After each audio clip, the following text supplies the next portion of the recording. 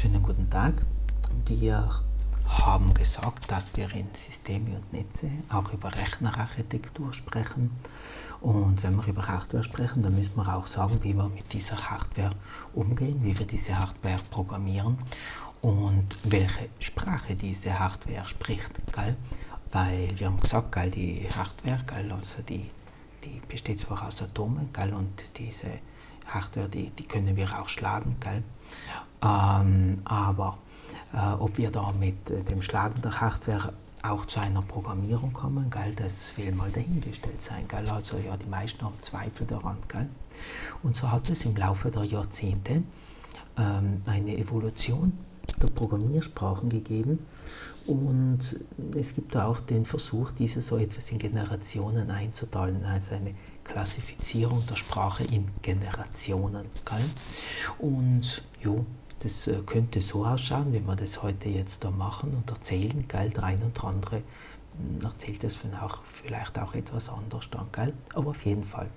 Äh, einig ist man sich, dass am Anfang die erste Generation die Maschinensprache ist. Gell? Also die Maschinensprache ist wirklich die Sprache der Hardware, die Sprache des Prozessors. Gell?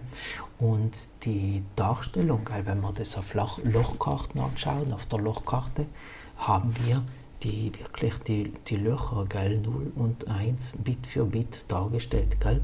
Und, dort sehen wir diese Sprache gell? Und auch die Daten, gell, die diese Darstellung eben binär ist. Gell? Aber wenn ihr euch denkt, man, man müsste so programmieren, gell, also da die Karte nehmen und da Loch für Loch machen und so, gell, also das wäre hier so ein bisschen umständlich, gell. Hat man dann auch so Hilfen gemacht zum Programmieren, gell, der Lochkarten, gell, aber auf jeden Fall, die Darstellung ist eine numerische Darstellung, gell, also das ist dann eine binäre Darstellung.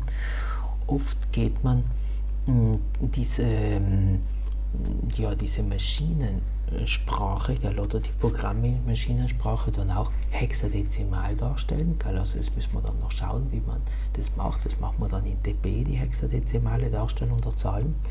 Ähm, auf jeden Fall ist das eine Darstellung in einem 16er Code, also 16er Zahlen als Basis 16. Und das sind, sind dann eben Wörter, die sind dann mächtiger als Dezimale oder gar Binäre. Gell? Mhm. Aber auf jeden Fall, das ist die einzige Sprache, die der Prozessor versteht. Gell? Also der Prozessor, wenn der äh, ja ein Programm lädt, muss es in Maschinensprache eben dargestellt sein. Und wenn es in Maschinensprache dargestellt ist, dann kann es die digitale Elektronik dekodieren oder interpretieren. Gell? Oder wir können sagen, sie versteht es. Und wenn die digitale Elektronik das versteht, dann kann der Prozessor ein Programm ausführen. Gell? Und das ist das Interessante. Gell? Also das ist die Sprache des Prozessors. Gell? Das ist also nicht die Sprache, die wir haben, sondern das ist die Sprache, die der Prozessor versteht. Gell? Also das ist das Interessante. Mhm. Okay. Ähm, jo, die, die Wörter, die wir haben gell, in der Maschinensprache, sind die Maschinenbefehle. Gell? Und äh, ja, was so genau, was da interessant war, das ist also als, äh, ja, als die, die Leute mit grauen Bärten noch jung waren und so die ja, Computerzeitschriften angeschaut haben, gell, das, das gab es damals schon, so Computerzeitschriften, gell, aber damals war es so, dass das Internet noch nicht verbreitet war. Gell? Also Internet, da hat man zwar von Netzen gehört, das soll es in Amerika geben und so, gell? Mhm, das Internet. Aber das war bei uns in Europa noch nicht verfügbar, gell? geschweige denn in Südtirol dann. Gell? Mhm.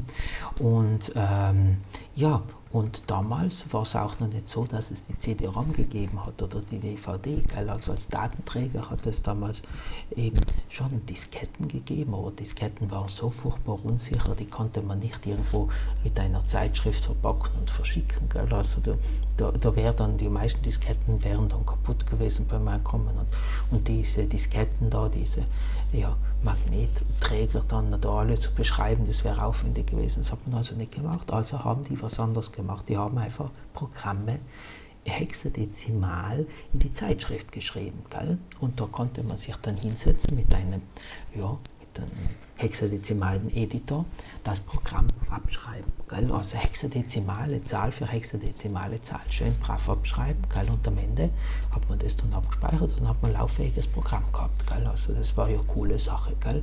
Okay, also da ja, war nicht langweilig. Gell? Da hat man sich dann schon die Zeit vertrieben, indem man Programme in Hexcode abgeschrieben hat. Gell? Also das war ja, war halt mal so, gell?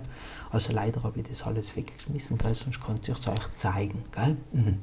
Also, aber natürlich ist das, die, ja, ist das wichtig, gell?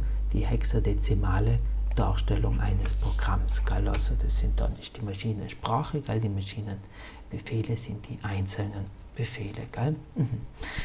Ja, eigentlich sehr schnell hat man dann ja, G2 entwickelt, gell, oder ja, gleichzeitig, oder vielleicht war es auch vorher, bis, und dann hat man erst den Maschinencode dazu geschrieben. Auf jeden Fall der Assembler. Gell, der Assembler ist jetzt keine Sprache mit äh, ja, Fähigkeiten, mit Konstrukten, die darüber hinausgeht, über, den Maschinen, äh, über die Maschinensprache hinausgehen, weil der Assembler eine 1 zu 1 Darstellung der äh, Maschinensprache ist. Gell? Das heißt, jeder Maschinenbefehl hat einen Assemblerbefehl. Gell? Und die gehören eins zu eins zusammen. Gell? Und ähm, ja, was hat man da gemacht? Da hat man dann einfach, ja, so wie der, der Ptolemei, gell? Der Ptolemei hat den Bergen und Dörfern und, und den Leuten gell, einen Namen gegeben. Gell? Also der hat dann eine Liste von 8000 Übersetzungen gehabt, gell? und äh, hat dann jeden anderen, anderen Namen gegeben in einer anderen Sprache. Und der Assembler macht es genauso. Gell? Also jeden Befehl der Maschinensprache, der ja numerisch ist, Hexadezimalauflage stellt, gell? gibt man einen Namen. Gell? Und zwar einen Namen, der leichter ist. Gell? Also der Ptolemei, gell? Äh, ja, der hat also den Südtiroler Bergen da italienische Namen gegeben. Gell? Also das, äh, ja, das hat er sicher gut gemeint. Gell? Also hat dann äh, allen einen italienischen Namen gegeben, gell? damit man das halt auch auf Italienisch besser versteht. Gell? Also ja, gell? oder auch nicht, wer weiß, wie das war. Gell? Mhm. Auf jeden Fall gell? ist der Assembler nichts anderes als eine 1 zu 1 Übersetzung äh, eines, ja, der Maschinensprache in Assembler. Gell? Und da gibt man einem Assembler, äh, einer, einem Maschinenbefehl, dann einen für uns lesbareren Namen. Gell? Also keine Einführung von neuen Konzepten, sondern nur von neuen Namen. Gell? Ptolemä hat auch keinen Südtiroler erfunden, der hat ihm nur einen anderen Namen gegeben. Gell? Mhm. Und wenn wir da mal schauen, also ich bin da jetzt auf Wikipedia, habe einen Prozessor geöffnet und hier sind ein paar Beispiele drinnen. Gell? Da haben wir zum Beispiel, naja, Z80-Sprache, Assembler, äh, für den Transportbefehl. Gell? Lade den Inhalt des Registers C in das Register A. Gell? Also das ist ein Transportbefehl, der also den Inhalt des einen Registers im Prozessor, im Mikroprozessor in dem Fall beim Z80, in das andere Register lädt. Gell? Also das ist ein Transportbefehl, load. Gell? Mhm. So, und naja, der dazugehörige Maschinenbefehl ist 7.9, gell? Nur, dass ihr es wisst, 7.9, gell? Mhm. Okay, und naja, der Z80, der hat 700 solcher, gell? Also da müssen wir uns 700 solcher äh, Maschinen Befehle merken, um dann in Maschinensprache programmieren zu können. Gell? Und da tun sich viele doch mit einem Assembler leichter als mit der Maschinensprache. Gell? Also das ist einfach für uns einfacher lesbar als 7.9. Gell? Oder Lord gell? das A dorthin, wo äh, ja, im RAM, gell? und zwar an die Stelle mit der Adresse, die im Doppelregister BC steht. Gell? Und ähm, ja, der dazugehörige Maschinenbefehl äh, ist 02. Gell? Mhm. Ist ja logisch, oder? Gell? Ja, ganz einfach. Ja. ja, logisch überhaupt nicht, aber die Elektronik versteht es. Das ist das Interessante. Gell? Mhm.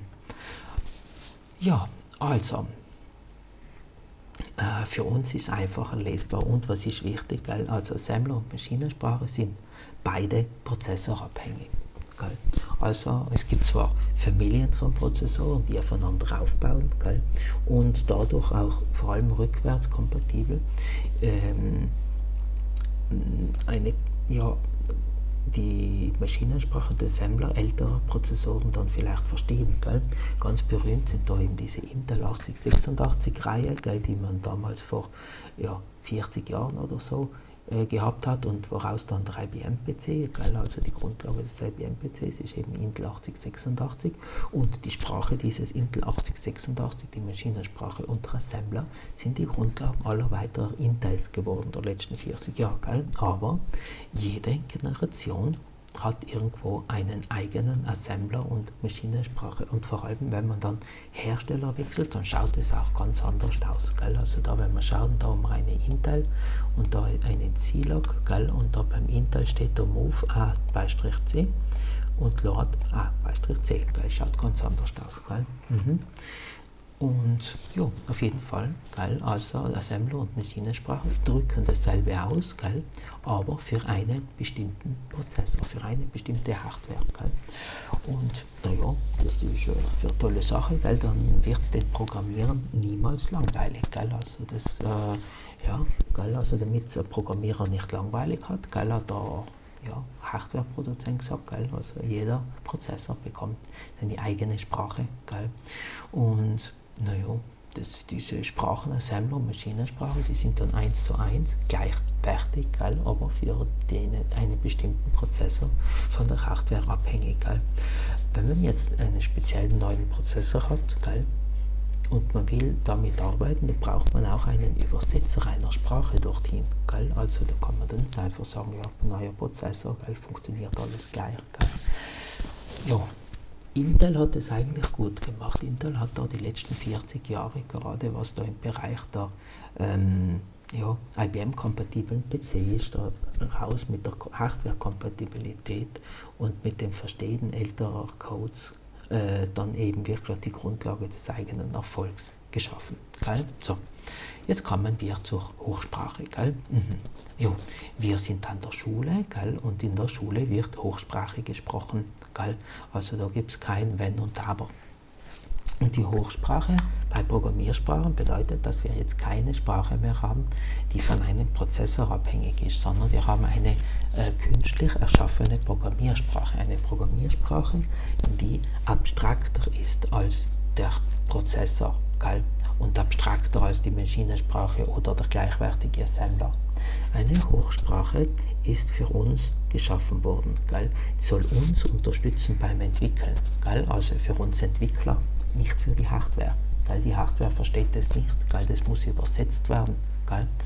Und ja, übersetzen, gell? übersetzen tun wir ein Programm in Hochsprache mit einem Compiler oder mit einem Interpreter. Gell? Und ja, darüber werden wir dann noch reden, gell? aber jedenfalls brauchen wir einen Übersetzer. Gell?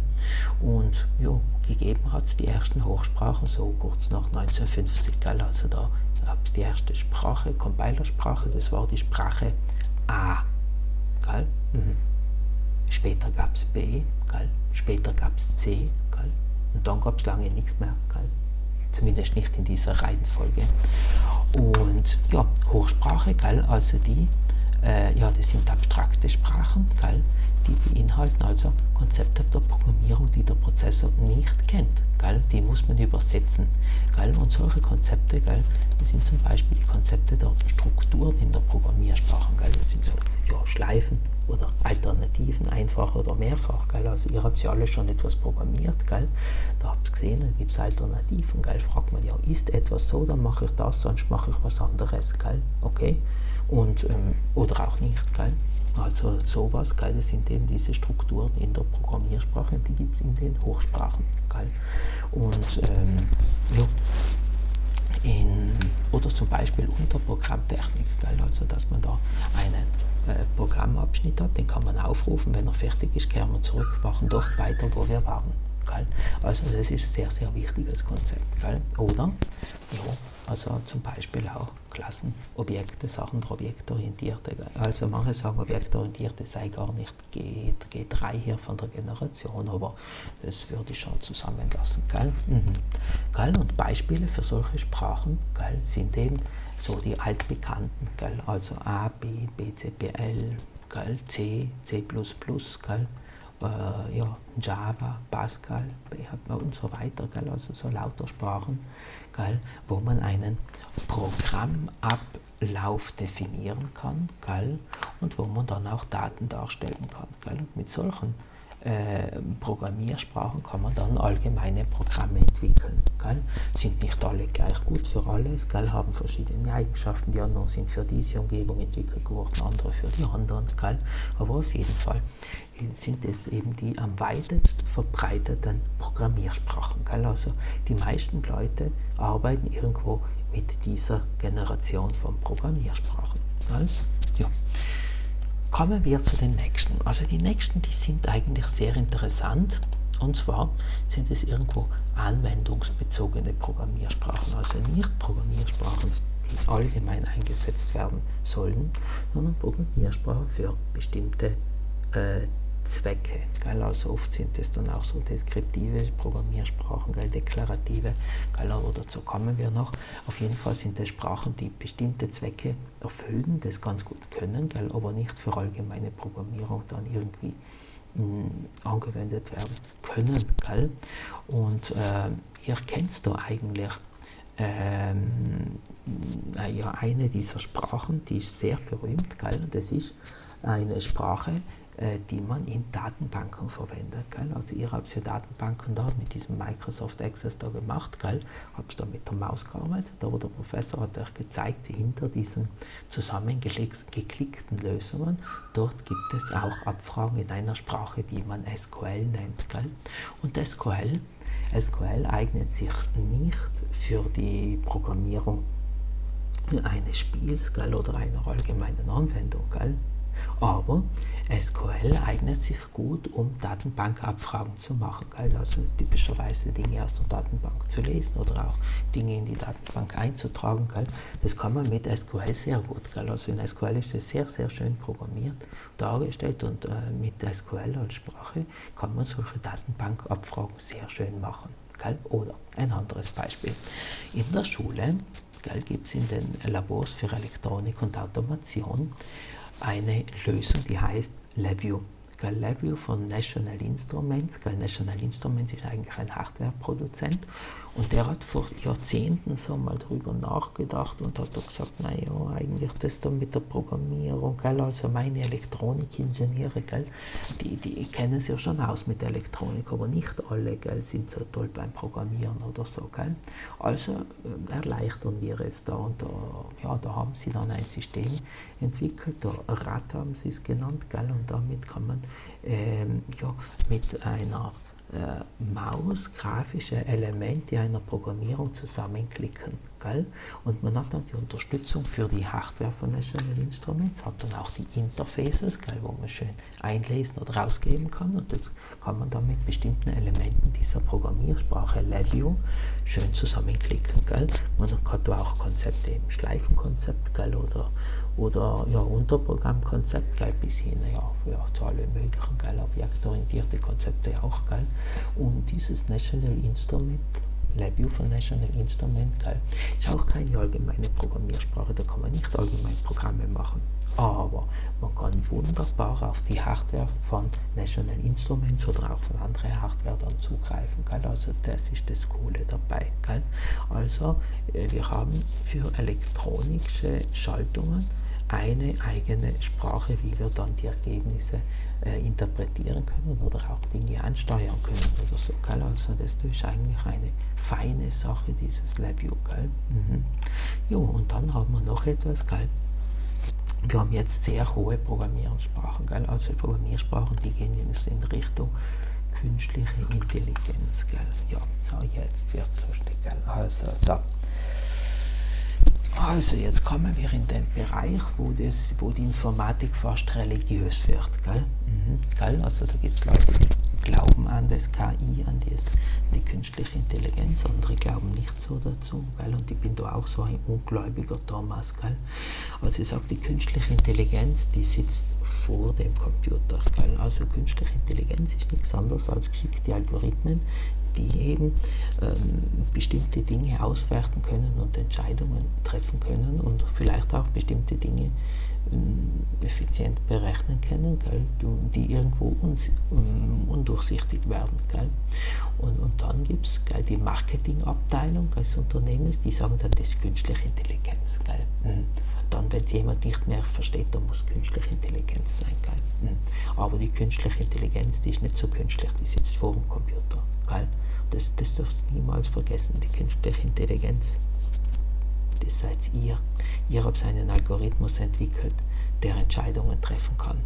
Richtig oder falsch ist dahingestellt. Gell? Also wenn der Tesla Autopilot unter einen LKW durchführen wollte, gell, da war die künstliche Intelligenz nicht so intelligent. Gell? Mhm. Gell? Aber es gibt schon Dinge, gell? also zum Beispiel, ähm, ja, zum Beispiel Südtirol ist ein Land der Äpfel. Gell? Also, also ja, jeder zehnte Apfel in Europa, mehr oder weniger, kommt aus Südtirol. Gell? Mhm. Gell? Also würden die unsere Äpfel gell, den Südtiroler Dialekt exportieren, gell, dann würde es bald kein Englisch mehr in Europa geben. Gell? Mhm.